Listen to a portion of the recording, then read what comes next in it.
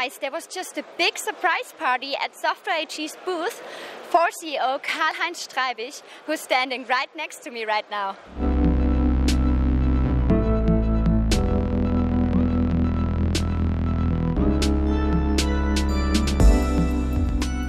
Mr. Streibich, this is your 14th and last CeBIT as CEO of Software AG. How does this feel? It's a great CeBIT. We have a spectacular setting. We have had a great day. Yesterday was the first day, and also now on Tuesday, it is a wonderful atmosphere on the new booth we have.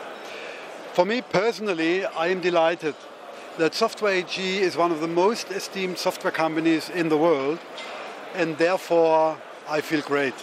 I really feel great, and I'm convinced that the new CEO will really bring that forward and help to grow, help help to innovate, and make also in future a long-term, successful, and great company out of Software AG. Looking back to your first CeBIT, how has the event changed over the years? Significantly. From CeBIT to CeBIT, there was a change.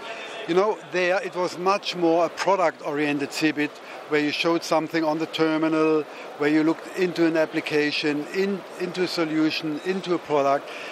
And then, in, in the meantime, it became more a consulting-oriented dialogue with the customer.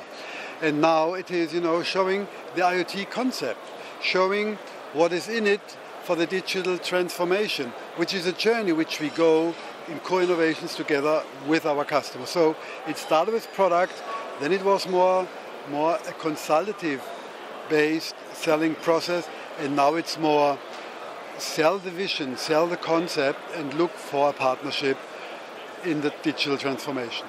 Okay, and what will you miss the most about not being at CeBIT with the Software AG team? The team. Okay, good answer. Thank you so much for the interview. You're welcome. Thank you.